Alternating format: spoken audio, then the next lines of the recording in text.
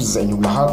Narito na ang ating latest update sa Miss Universe na 2023 na kung saan narito na sa ngayon ang isa sa latest top 12 strong candidate para sa final ng Miss Universe ngayong 2023. Hindi naman nagpapatalo rito ang pagbago ng Philippines na si Mitchell D. pasok ito sa top 12 strong candidate.